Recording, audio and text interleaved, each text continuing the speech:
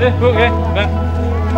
Dengan tidak mengurangi rasa hormat dan ucapan terima kasih kepada seluruh hadirin sekalian. Kami segera dimulai. Mengawali acara ini. Jadi eh, kalau kita bicara masalah air itu eh, Mendes Taburan bahwa ini bahan pokok utama Pak. Jadi apalagi dengan kondisi pandemi saat ini air bersih itu penting sekali untuk sanitasi.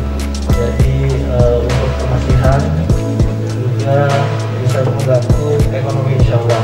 Jadi sesuai dengan programnya pemerintah pusat sekarang untuk tahun lalu mungkin kita fokusnya ke BLT ya tapi untuk saat ini kita pembangunan ekonomi kementerian ekonomi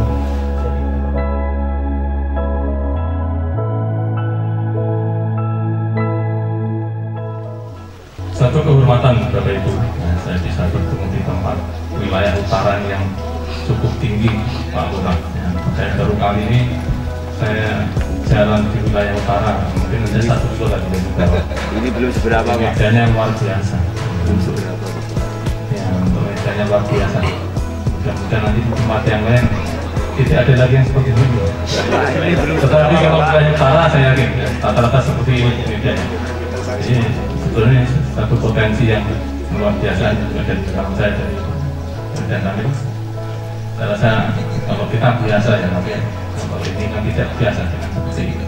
Tapi harapan yang besar ya, yang juga saya sampaikan pada rekan-rekan di Gedang Sari ya pada umumnya yang notabene kalau tak sebut miskin itu tidak usah malu ya, nggak usah malu untuk wilayah di Gunung Kidul yang salah satu yang paling tinggi kemiskinannya adalah di wilayah Gedang Sari.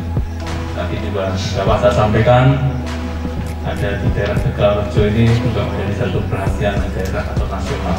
Jadi kemiskinannya sudah sampai 35 persen kalau tidak salah.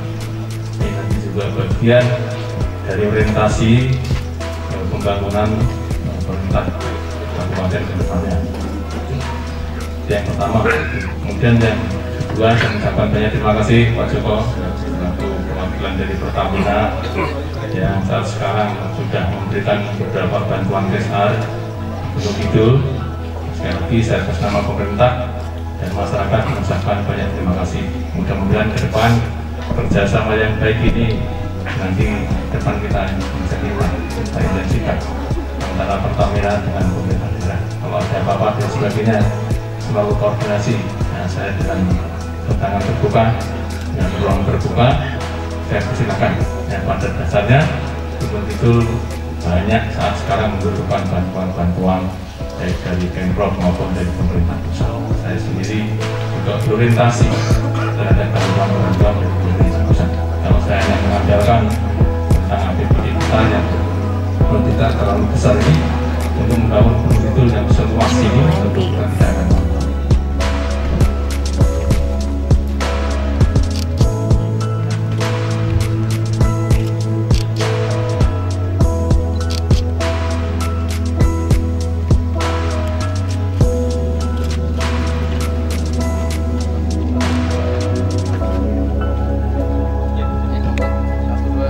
Bismillahirrahmanirrahim.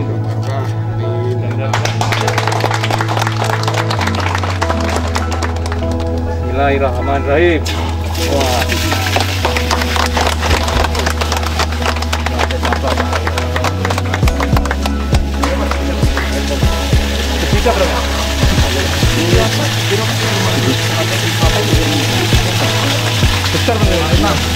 Oke. Terima kasih.